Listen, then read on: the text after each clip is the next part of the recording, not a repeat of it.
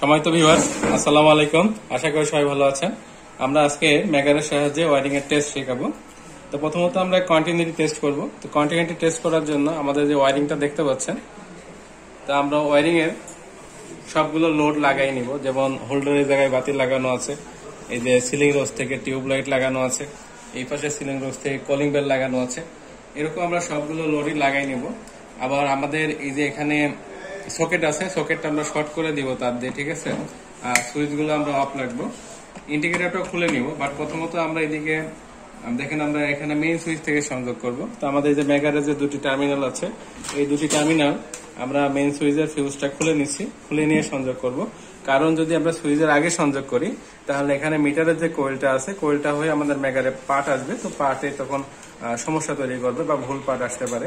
তো সেই জন্য আমরা ফিউজটা খুলে উপরের দিকে আমরা একটা ফেজে ফেজ এবং নিউট্রাল দিলাম। এটা চেঞ্জ করলে সমস্যা নাই। মেগার মূলত একটা দিচ্ছি জেনারেটর তো মেগারের কাটাটা দেখে আমরা লক্ষ্য করি। তো মেগারের কাটা স্বাভাবিক অবস্থায় মাঝামাঝি থাকে।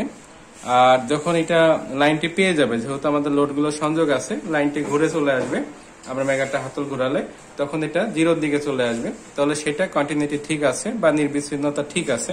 আর যদি কোনোটা লাইন না আসে ওপেন থাকে তাহলে সেটা ঠিক নেই, অর্থাৎ কাটাটা অসীমের দিকে যাবে বেশি রেজিস্ট্যান্স দেখাবে। তা আমরা এখন প্রথমে হাতল ঘোরাবো এবং সুইচ বোর্ডের দিকে একটু লক্ষ্য করব। তো দেখেন যে এখানে সুইচ বোর্ডে কিন্তু আমাদের ইন্ডিকেটারটা খোলা নেই, যে কারণে ইন্ডিকেটরের একটা লাইন দেখাতে পারে। দেখেন আমরা যেই হাতল ঘোরাচ্ছি, সঙ্গে সঙ্গে ইন্ডিকেটরটা লাইন দেখাচ্ছে এবং আমাদের কাটাটা জিরোর দিকে চলে আসছে। তো এখানে আমরা কিন্তু সুইচগুলো অফ। তো এটা এই ইন্ডিকেটরের ভিতর দিয়ে বিদ্যুৎ ফলো হয়েছে বিদায় এটি দেখিয়েছে। তো আমরা এখন এটা খুলে নিচ্ছি। ইন্ডিকেটারের লাইনটা ডিসকানেক্ট করে দেব। তো ডিসকানেক্ট করে দিলাম। আমাদের একটা একটা করে সুইচ বোর্ডের কাজগুলো করা লাগবে। এই লাইনটা ইন্ডিকেটরের লাইন আর মেগারের ইউজটা কিন্তু মূলত হয় যেখানে বিদ্যুৎ পৌঁছায়নি এমন জায়গাতে বা নতুন রুমের ওয়ারিং এ তখন মেগার ইউজ করতে হয়। তো ঠিক আছে, আমরা এটা খুলে নেওয়ার পরে এখন ইন্ডিকেটর লাইনটা ডিসকানেক্ট আছে বাট বাকি সব লাইনগুলো কিন্তু কানেক্টেড আছে। তো এবার আমরা আবার হাতল ঘোরাবো। তো আমাদের এখন কাটা কিন্তু দেখেন মাঝামাঝি আছে। তো হাতল ঘোরালে কাটাটা অসীমের দিকে যাচ্ছে। তো এটাই এখন যেহেতু সবগুলো সুইচ অফ আছে, তো এটাই হওয়া স্বাভাবিক। এখন আমরা একটা সুইচকে অন করলাম, আবার হাতল ঘোরাচ্ছি। সঙ্গে সঙ্গে কাটাটা জিরোর দিকে চলে আসলো। তার মানে এই সুইচের সাহায্যে যে লোডটি কানেক্টেড আছে, সেটা ঠিক আছে। আমরা সুইচটা অফ করলাম, অন্য একটি সুইচ অন করলাম। আবার আমরা হাতলটা ঘোরাবো। তো হাতল ঘোরালে দেখেন যে আমাদের কাটাটা আবার জিরোর দিকে চলে আসছে। আমরা এই সুইচটা আবার অফ করলাম। এবার আমরা অন্য একটি সুইচ অন করতেছি। বলে দেখেন যে আমাদের কাটা জিরোর দিকে আসছে, ঠিক আছে। তো ঠিক আছে, আমরা এটা অফ করে দিই। এরপরে আমরা আরেকটা ধরলাম। এটা কিন্তু দেখেন যে আমরা শর্ট করি নাই। শর্ট যেহেতু করি নাই, সে কারণে দেখেন এটা কিন্তু অসীম দেখাচ্ছে। সাপোজ যদি ভাবনাটা লোড লাগানো আছে তাহলে কিন্তু এটা মনে হতো যে এটা ভুল আছে। কিন্তু এটা তো লোড লাগানো নেই, আমরা একটা শর্ট করে দিব। তো দেখেন আমরা হাতল ঘোরাচ্ছি, এটা আবার জিরো চলে আসলো।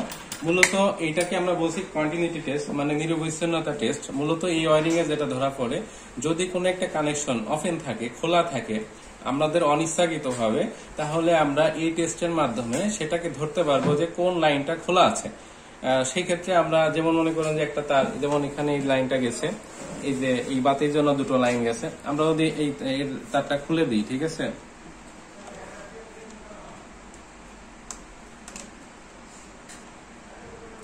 আচ্ছা আমরা এটা একটা খুলি। এটা খুললাম। তো খোলার পরে দেখেন যে আমরা এখানে তো সব সুইচ অফ আছে। এখন আমরা সুইচ যদি অন করি, এটার যে সুইচটা মেবি এই সুইচটা হবে। তো দেখেন যে আমাদের কাঠটা সর্বোচ্চ দিকে যাচ্ছে, অসীমের দিকে যাচ্ছে। তো এখানে কিন্তু যেহেতু লোডগুলো লাগানো আছে, সেহেতু এটা জিরোর দিকে আসার কথা ছিল। কিন্তু এই তারটা খোলার কারণে এটা অসীমে যাচ্ছে, এটা ওপেন সার্কিট আছে। তো আমরা এই জন্য আবার এটাকে লাগাই দিয়ে আবারও দেখেন সুইচটা দেয়াই আছে। আবার আমরা হাতলটা ঘোরাই, ঘোরালে দেখে এটা জিরো চলে আসলো। এইভাবে একটা সার্কিট ওপেন আছে কিনা সেটা ধরা যায় এখন আমরা তাহলে আশা করি বুঝতে পারলাম যে কন্টিনিউটি টেস্টটা কি। এবার আমরা এটাকে ইনসুলেশন রেজিস্ট্যান্স টেস্ট করব। এটাকে অনেকে শর্ট সার্কিট টেস্টও বলে। তো আমরা চলেন, এটা করতে গেলে আমাদের সবগুলো লোড খুলে নিতে হবে। তো আমরা যে শর্টগুলো করছিলাম শর্ট খুলে নিব। আর এদিকে যে লোডগুলো আছে, আমাদের সেই লোডগুলো ডিসকানেক্ট করে দিব, ঠিক আছে? তো আমরা এখানে দেখেন যে কলিং বেলটা ডিসকানেক্ট করলাম। আমরা এখান থেকে সিলিং রোজ থেকে একটা তার ডিসকানেক্ট করব।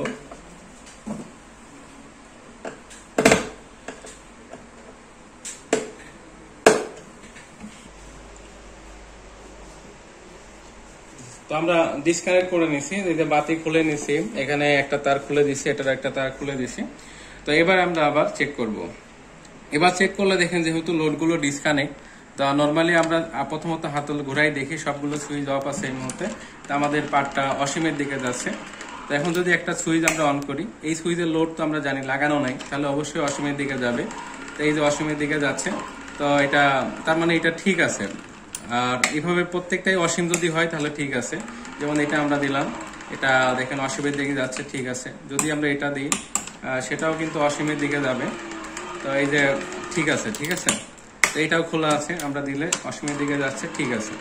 তো বিষয়টা কি আসলে যদি কোনো কারণে বাইসেন্স মনে করেন যে আমাদের একটা তার ফেজ আর নিউট্রাল লেগে গেছে, কিন্তু আমরা তো সেটা জানি না, যদি এমনটা হয় সেই ক্ষেত্রে আমরা যখন হাতল ঘোরাবো জিরোর দিকে চলে আসবে।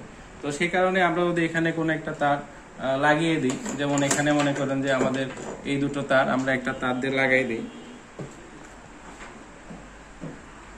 এটা তো আমরা ইচ্ছা করে লাগাচ্ছি, কিন্তু দেখা যাচ্ছে যে ভুলবশত ওয়ারিং এর কোনো জায়গাতে এরকম একটা ফেস তার, একটা নিউট্রাল তার লেগে গেছে, যেতেই পারে ওয়ারিং করার সময় বা ভুল কানেকশন হতে পারে। সেই ক্ষেত্রে আমাদের সেই পার্টটা কিন্তু আমরা দেখতে পারব। তো এখন আমরা আসেন এখানে সুইচে তো আমরা এই সুইচটা নর্মালি তো সব সুইচ অফ আছে, তাহলে অসীম দেখাবে। এখন যখন আমি এই সুইচটা অন করতেছি, ঘোরালে এই জিরো দেখাচ্ছে। কিন্তু আমরা তো সবগুলো লোড খুলে নিয়েছিলাম। সেই ক্ষেত্রে কিন্তু আমাদের পার্টটা অসীম আসার দরকার ছিল। কিন্তু যেহেতু এই সুইচটা দেওয়ার পরে আমাদের পার্ট জিরোই আসছে, তার মানে এখানে নিশ্চয়ই সমস্যা আছে ফেজার নিউট্রাল লেগে গেছে। তো এই জিনিসটা যখন আমরা বুঝতে পারলাম এটাতে চেক করার পরে, তখন আমরা এই সুইচের যে লাইনটা আছে, সেটা ঠিক করে নিব। তো এটাই আসলে মূলত আমাদের মেকারের সাহায্যে আমরা ইনসুলেশন রেজিস্ট্যান্স টেস্ট করলাম। তো ইনসুলেশন রেজিস্ট্যান্স টেক করাতে আসলে ফেজ আর নিউট্রালের মধ্যে ইনসুলেশন ঠিক আছে কিনা সেটাই বোঝা গেল। যদি ঠিক না থাকে, তাহলে নিশ্চয়ই সেখানে কোনো জায়গায় ফেজ নিউট্রাল লেগে গেছে, এটাই বোঝাবে। যে কারণে অনেকে এটাকে শর্ট সার্কিট টেস্ট বলে থাকে।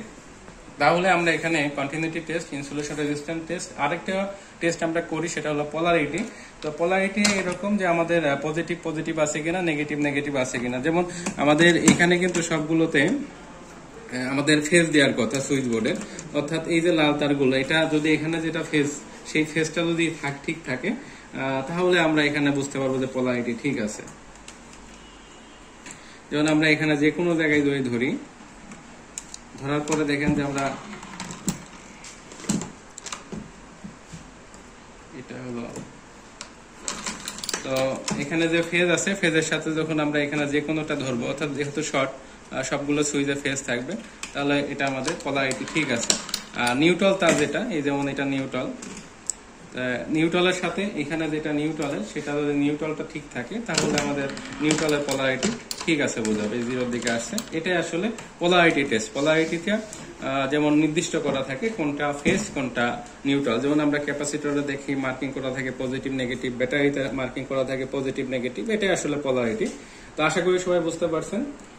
তো সবাইকে আমাদের ভিডিওটি দেখার জন্য ধন্যবাদ। আমাদের এই ভিডিও যদি ভালো লাগে। এই ধরনের ভিডিও পাওয়ার জন্য চ্যানেলটি সাবস্ক্রাইব করুন, ভিডিওতে লাইক দিন কমেন্টস করুন এবং শেয়ার করুন।